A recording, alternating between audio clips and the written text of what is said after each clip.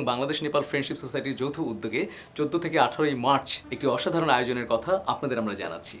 বাংলাদেশ ও নেপালের মধ্যকার কূটনৈতিক সম্পর্ক স্থাপনের পঞ্চাশ বছর পূর্তি উদযাপন উপলক্ষে ঢাকাস্থ নেপাল দূতাবাস ও নেপাল বাংলাদেশ ফ্রেন্ডশিপ সোসাইটির যৌথ আয়োজনে পাঁচ দিন ব্যাপী Bangladesh Nepal art and culture festival দু হাজার তেইশ সাংস্কৃতিক অনুষ্ঠানের আয়োজন করা হয়।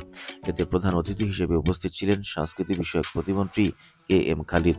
নেপালের সাথে আমাদের সাংস্কৃতিক বন্ধন অত্যন্ত দৃঢ়।